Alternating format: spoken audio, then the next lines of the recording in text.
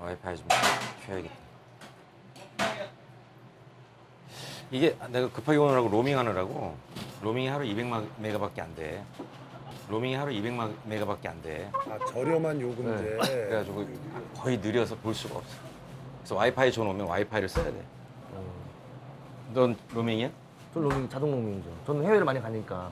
근데 자동 로밍이 200메가밖에 안 돼. 전 3기가. 전 3기가. 3개월짜리가 있어? 모르셨어요? 그건 얼마니? 하루에 한 3만 원 하니? 아니요, 아니요, 아니요, 아니요. 아니요. 나 9,900원인데? 15일 해가지고. 15일을 써? 네. 15일 동안. 며칠 오는 건데 15일 거를 한꺼번에 쓴다고? 네. 제가 중국, 일본을 자주 가니까.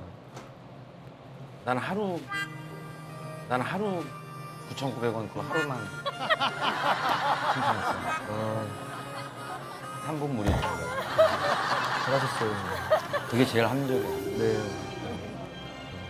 그게 제일 합리적이야. 네.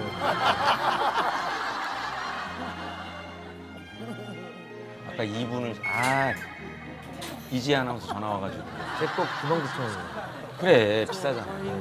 근데 15일 동안 네, 15일 패스야. 동안 3기가. 아 그럼 네 거 좀 빌렸어야겠다. 아 그럼 네 거 좀 빌렸어야겠다. 제 걸요? 이걸 아껴 써야 돼 200메가. 이걸 아껴 써야 돼 200메가라.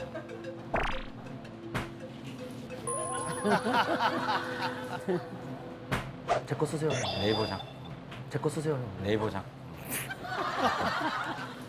뭘 검색하시려고. 그냥 뭐 SNS 보는 거지 뭐. 너 SNS 하니?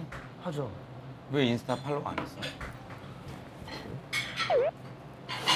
뭐, 뭐예요, 형 아이디? 형, 형 SANG. 승리, 어, 형, 예. 형, 뭐 30만 명인데요? 팔로워. 너는?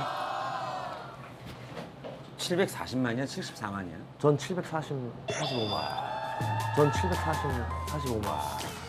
740만. 대단한 친구.